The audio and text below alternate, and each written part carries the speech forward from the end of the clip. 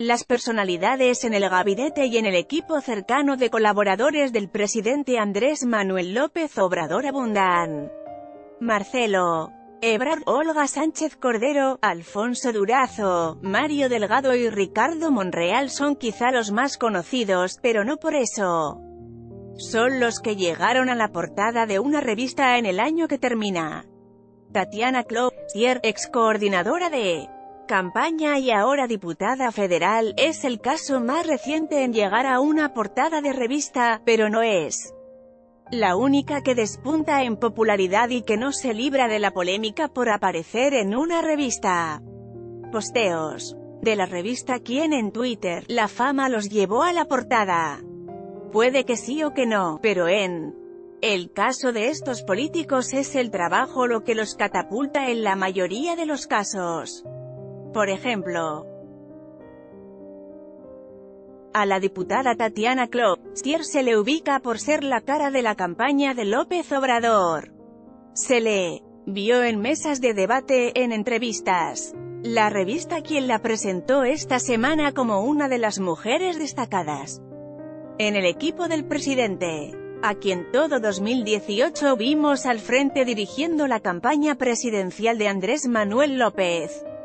Obrador. Muchas fueron las entrevistas, los debates y los mensajes en redes sociales en los que defendió a capa y espada un proyecto de país en el que cree. Si algo la caracterizó estos meses fueron la firmeza, la congruencia y el arrojo. Hoy está en la Cámara de Diputados, desde la bancada de Morena, trabajando por el México que anhela. Aunque la edición corresponde al mes de enero, desde este 27 de diciembre el ejemplar con la entrevista de Tatiana Cloutier empezó a venderse. Lee también, ¡qué elegancia! Este es el criú de la cuarta transformación ¿Quién fue el primero? Obviamente que quien inició esto de llegar a las portadas de las revistas fue Andrés Manuel López Obrador.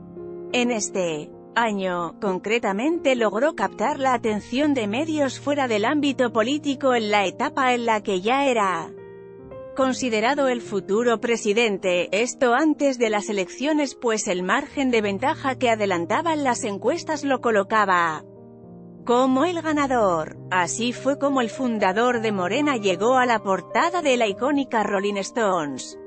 Apenas Empezó a circular el ejemplar y se le llamó el nuevo rockstar de la política en México. Una frase de la revista justificaba la división del rostro de AMLO en dos, así se ve AMLO. Preocupación empresarial e ilusión popular, junio. En Rolling Stone, AMLO, preocupación empresarial e ilusión popular. También una entrevista exclusiva con Guillermo Ochoa, portero de la selección nacional. Adquiérela en puestos de revistas y en Sanborns.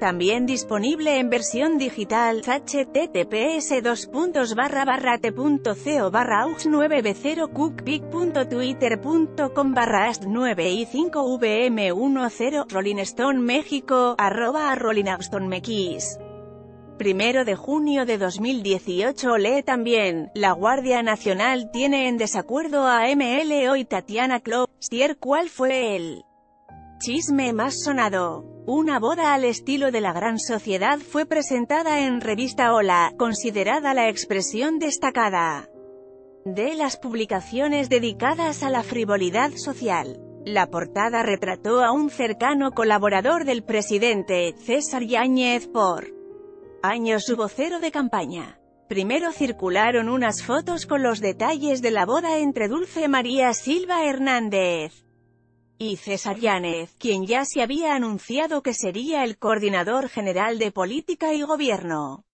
En plena transición. La revista fue un golpe mediático contra la imagen de austeridad promovida por el nuevo gobierno. Lee también, La Cuarta, transformación se está haciendo, Fifi, alguno salió bien librado. La secretaria de Gobernación, Olga Sánchez Cordero, es la que menor polémica recibió al aparecer en la portada de una revista. En su caso fue en Newsweek en español. Una entrevista perfil fue cabeceada con la frase «El reto de Olga». El texto dejó más que bien librada a la exministra. Destacó puntos de su trayectoria, de su cercanía con Andrés Manuel López Obrador, hasta escenas del nuevo momento político de la funcionaria, tenemos que ser un gobierno abierto, que rinda cuentas y autocrítico. Olga Sánchez Cordero, en entrevista con Newsweek en español. https t.co barra b1gtb1zkj1 Newsweek en español, arroba Newsweek español, 25 de julio de 2018 Una cita el 9 de julio, días después de las elecciones retrató a una mujer de poder con decenas de citas y decenas de aristas por destacar. Se publicó el 25 de julio y el texto terminó fungiendo como una presentación de la nueva encargada de la política interior. Dos semanas después de ese encuentro, a la exministra le hablaron de la oficina de AMLO para decirle que él quería volver a verla. La recibió con una gran sorpresa, le pidió acompañarlo en el gabinete que decidió anunciar con mucha antelación. La también notaria le inquirió en qué lugar del gabinete la veía, si es que lograba ganar la presidencia en 2018. AMLO le dijo, yo quiero que usted sea secretaria de gobernación. No son los únicos que despuntan en él gabinete o que aparecen recurrentemente en los medios pero no todos han llegado a las portadas que sea lo que sea constituyen un referente de la carrera política de un funcionario. Podría interesarte, opinión, la cuarta transformación y el control de los medios públicos el pasado de la esposa de César Yáñez, e prisionera política de Moreno Valle. Octavio Ortega editor de Especiales periodista obsesionado con la política mexicana, cafetero y motociclista frustrado, pescador de noticias políticas en arroba cecenius barra baja barra baja.